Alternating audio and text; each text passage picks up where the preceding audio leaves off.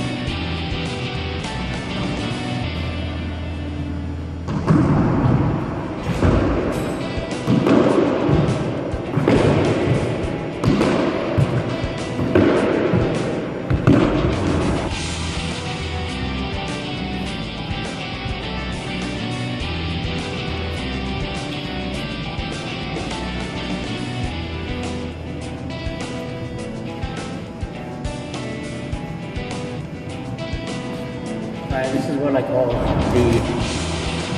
chasing after a ball.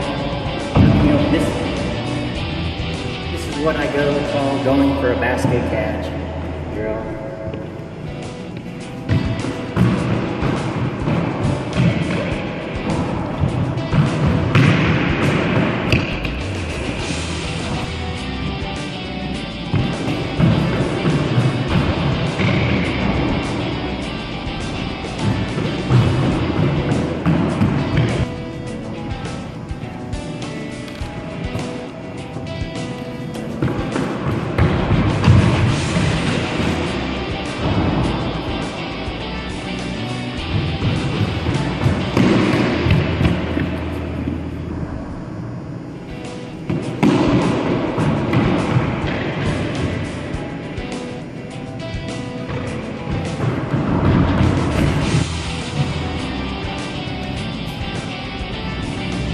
And lessons the drill.